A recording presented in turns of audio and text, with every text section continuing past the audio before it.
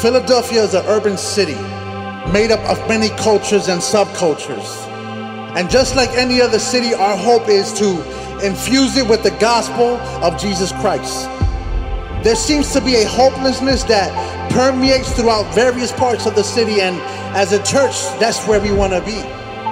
Echoing the good news of our Savior up into the tallest buildings and down as low as the subways that run through Philadelphia. And I know that oftentimes we talk about supporting missions abroad, and we should. But can I challenge you today to see the major need in the cities like Philly? We would ask that you consider supporting us in prayer and financially as we plant ourselves firmly into this city's infrastructure with the goal of turning the hearts back to God the Father.